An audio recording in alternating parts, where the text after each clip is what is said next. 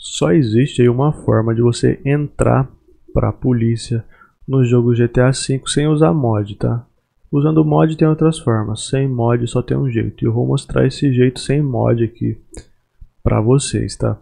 Bom, você pode pegar uma viatura aí se você quiser, mas é opcional. E aí você vai apertar aqui o botão M para quem joga no teclado. Para quem joga no controle, eu não sei qual botão que abre esse menu aqui, mas você vai apertando aí que algum abre. Nesse menu aqui, você vai entrar aqui no modo diretor e vai dar um sim. Vai então carregar aqui esse trailer. E aqui você vai vir na opção atores. Aqui em atores, você vai escolher aqui a opção serviço de emergência. E aí você pode escolher que você quer ser homem ou mulher.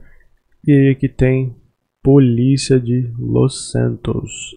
Você vai escolher aqui então e vai entrar no game aí, tá?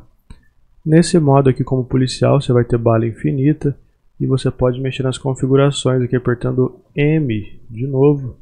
Você vai vir em configurações, você pode colocar aqui o horário, você pode colocar o clima, por exemplo, eu gosto de jogar com chuva, tem trovão.